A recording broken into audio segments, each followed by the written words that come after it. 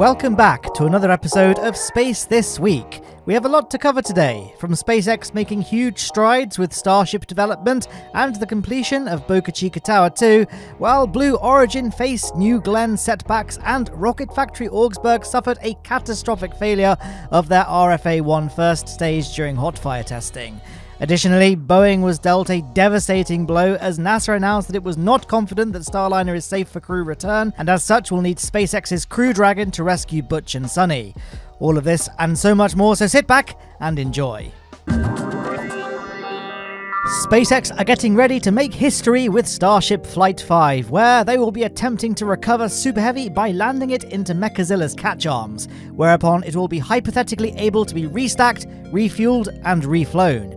In a show of support for the booster, Ship 30, the vehicle's upper stage, has been decked out with a little Mechazilla decal. But this is a purely supportive decal. SpaceX will not be attempting to recover the ship this time, or for the foreseeable future, to be honest, and instead will once again attempt to simply have it re enter successfully and do an SN 15 style flip, burn, and splashdown in the ocean, just like Ship 29 managed, though hopefully with the flap staying a little less melted. The area you can see becoming molten on Ship 29 has received significant improvements to its heat shielding for Ship 30, hopefully meaning the flap will be more resilient to the heat of re entry.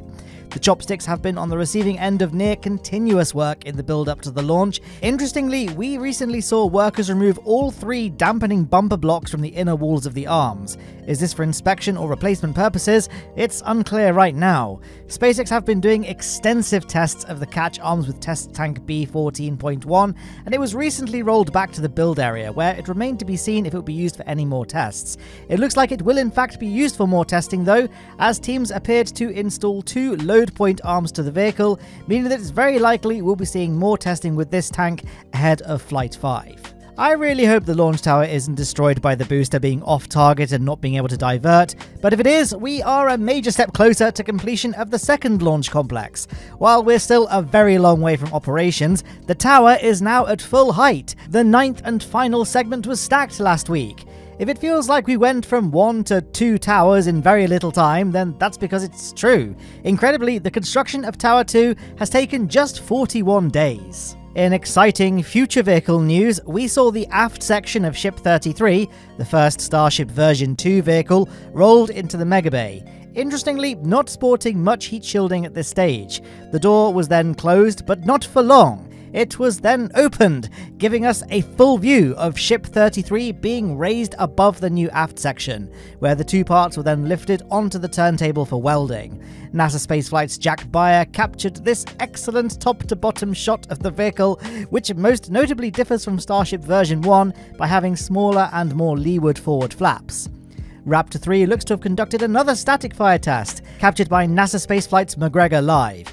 The static fire lasted 169 nice seconds, which would be a simulation of a full duration burn for a super heavy launch. SpaceX launched just the one Falcon 9 last week from Space Launch Complex 40 at Cape Canaveral. This was Starlink Mission 10 5 and saw the rocket carry 22 Starlink V2 minis to low Earth orbit last Tuesday. After stage separation, the rocket's first stage made a successful landing on the shortfall of Gravitas drone ship in the Atlantic Ocean, marking this first stage's first ever landing.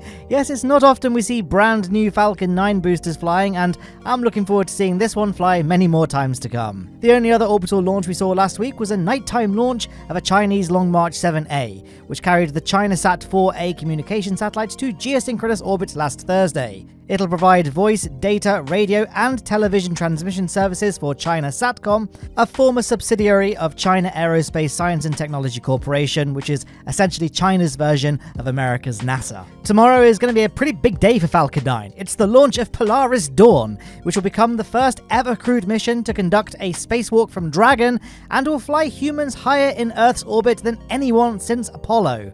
The mission will also test laser based Starlink communications and conduct research to help provide insight on human health during long duration spaceflight missions, according to SpaceX.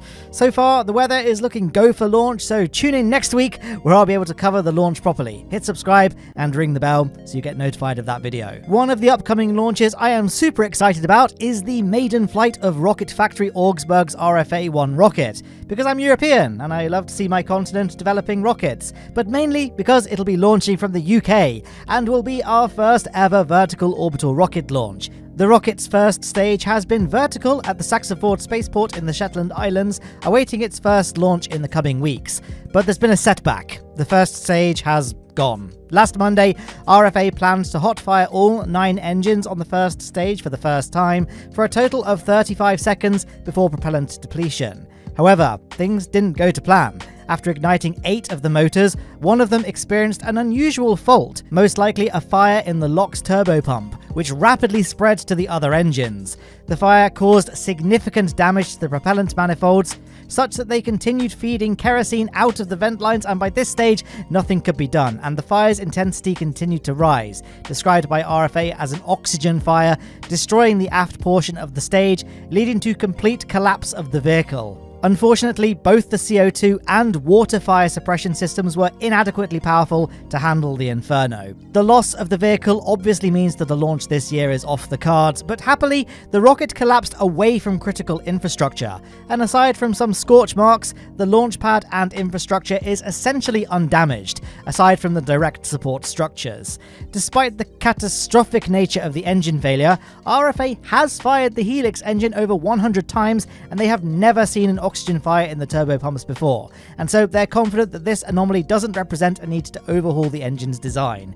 It's also worth noting that this is RFA's first ever first stage, and they already have the second first stage in their workshop, which features over 100 improvements to the vehicle, mostly related to propellant manifolds and pressurization systems, and the launch pad will see upgrades to its fire suppression system so that if a fire like this happens again, loss of the vehicle shouldn't happen and the second and third stage, and the rocket's fairings, are all still ready for integration with the first stage in the Shetland Islands. No hard and fast date has been set for launch with the new first stage, but RFA have stated that they hope the timeline to be relatively quick. I think the best thing to make of this situation, though, is the incredible level of communication and transparency RFA have demonstrated here. It would be amazing if we saw the same level of transparency from others. On a totally unrelated note, Boeing. Ah, Boeing, the news that we were all kind of expecting for a while now has finally arrived. NASA has decided that Butch and Suni will return with Crew 9 next February, uh, and that Starliner uh, will return uncrewed. Dealing another crushing blow to the aerospace giant's already faltering reputation.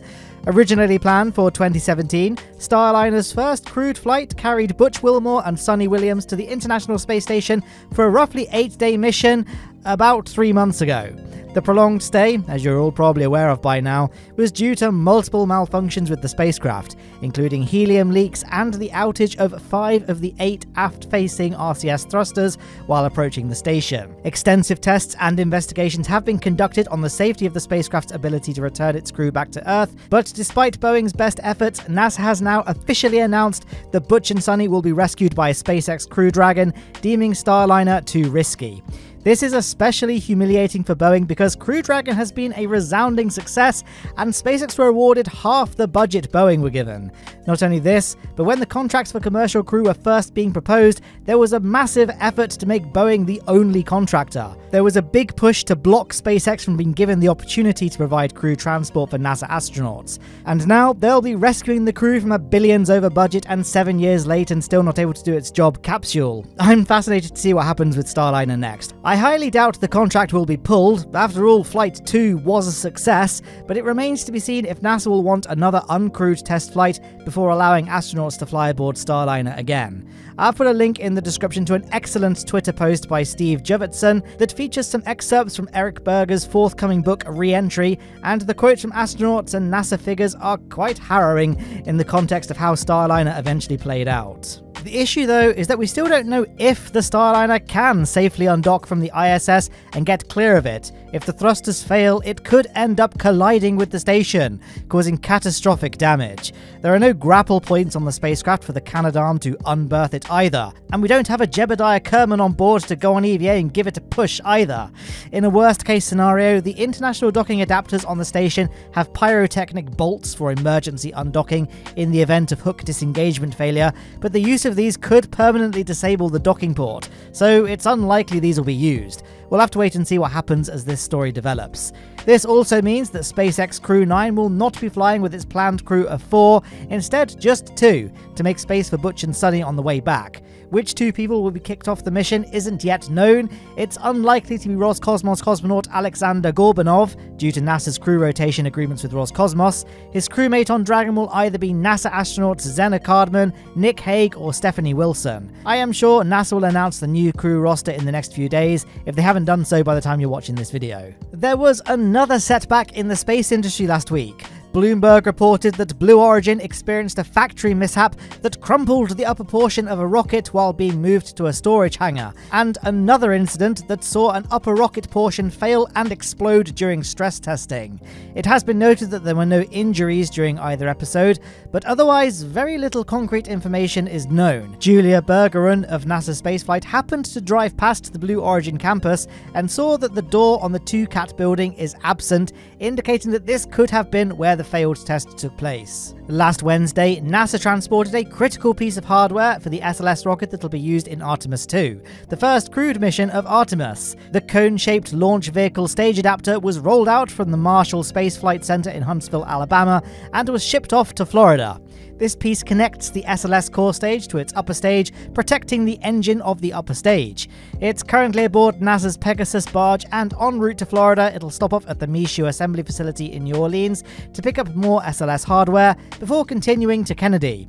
Once it arrives, it'll be prepared for stacking with the recently delivered core stage in the vehicle assembly building. If you enjoyed this video, then I make space news content every Monday, and Kerbal Space Program videos every Saturday. My last Kerbal outing took us to the moon on a shoestring budget.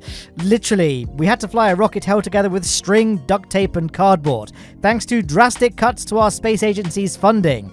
This was a fun mission showcase of the Bargain Rocket Parts mod, and so if it sounds like a fun time, then click that card on screen to check it out. And also, please consider supporting the show by joining my Patreon, like the good folk on the left did. And that's it. Thank you so much for watching. I hope you enjoyed today's episode of Space This Week, and I'll see you all next time.